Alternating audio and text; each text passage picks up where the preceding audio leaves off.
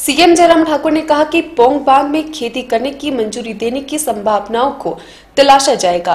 ये आश्वासन सीएम जयराम ठाकुर ने पोंग बाँध विस्थापितों के प्रतिनिधि मंडल को दिया। पोंग बाँध विस्थापित पूर्व सांसद राजन सुशांत की अगुवाई में मांगों को लेकर सीएम जयराम ठाकुर से मिलने विधानसभा परिसर तपोवन पहुँचे। मुख्यमंत्री जयराम ठाकुर ने कहा कि पोंग बाँध में खेती करने की मंजूरी देने की संभावनाओं को तलाशा जाएगा। ये आश्वासन मुख्यमंत्री जयराम ठाकुर ने पोंग बाँध विस्पातकों के प्रतिनिधिमंडल को दिया। पोंग बाँध विस्थापित पूर्व सांसद राजन सुशांत की अगुवाई में मांगों को लेकर सीएम जयराम ठाकुर से मिलने विधानसभा परिषद तपोवन पहुँचे। पोंग बाँध विस्थापित नारेबाजी करते हुए विधानसभा पहुँचे।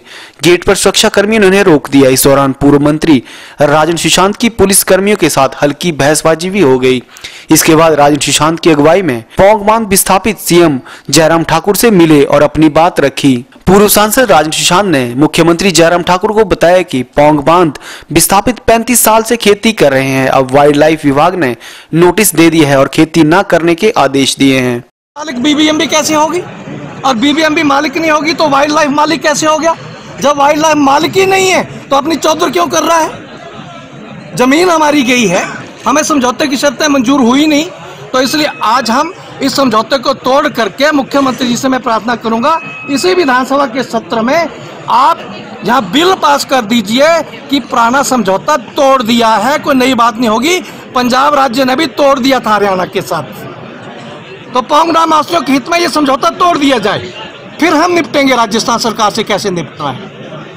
लेकिन मैं भूखे नहीं मरने दूँगा पोंग डैमोस्ती भाइयों को। अगर समझौता नहीं टूटता है तो? तो आंदोलन बढ़ेगा? एक गवर्नमेंट ने बोर्ड बनाने की बात करी है पोंग गुजरात के लिए। क्या? भाई बोर्ड बहुत पुरानी बनाए बातें हम स्वागत करते हैं पर कागजों में ना बनाए ना। हाँ।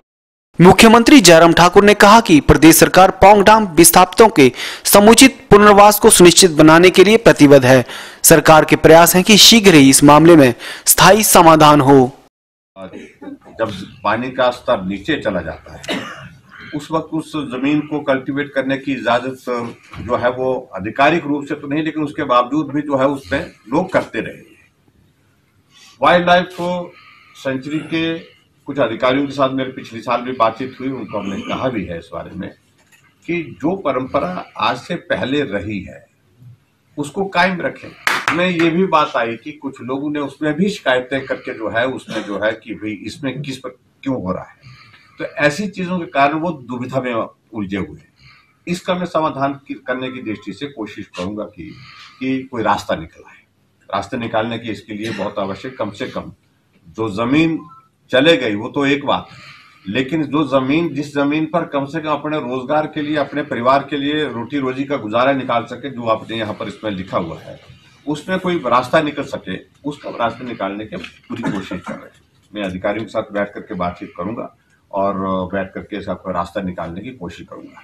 लेकिन मैं आपकी भावनाओं से जो है वो अच्छी तरह से सहमत हूँ क्योंकि ये बहुत पुराना विषय है और जिसके कारण हमको बहुत बड़ा नुकसान हुआ है। हिमाचल प्रदेश को ज़मीन हमारी डूबी पानी के कारण जो है पानी हमारे यहाँ से जाता है लेकिन उसके बावजूद उस रूप में जिस रूप में समझौता हुआ था सु, सुप्रीम कोर्ट के निर्णय के बावजूद भी अभी तक हम उस हक को लेने में उसमें कामयाब नहीं हो पाए। और अब सरकार गंभीरता से विचार कर रही है सारे विषय को लेकर के, कि अगर ये उस रूप में नहीं होता है, हालाँकि पिछले साल जो है लास्ट ईयर तो हाई कोर्ट में भी ये मामला गया था। हमने इस सारी बात को लेकर के आगे बढ़ाया था।